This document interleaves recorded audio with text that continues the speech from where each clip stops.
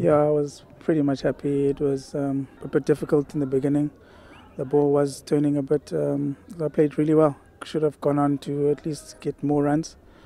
Uh, that would have benefited the team more. I didn't really start that well, but um, as the day went on, you know, I was I was I was pretty happy with the way I ended up. I'm not happy. Uh, I think we should have gone more like 350 plus. That would have been more I think more a score on the first uh, on that wicket first up. Obviously, we would have liked a little bit less than what we gave them, but um, you know we'll take it now. Now the batsmen must just go out and do their job, and uh, hopefully second innings we can bowl a bit better than what we did today. I just feel that we need to be patient and just in terms of bowling and just bowl uh, nice and full to them, and uh, just be nice and patient. And it's a processor, so everything will work out once we do the right processes. The game itself has sped up quite a bit, you know, with 13 wickets falling. So we've got a lot of time, and um, it's a sort of wicket that the, the more time our batsmen spend at the crease, I'm sure we'll get the runs.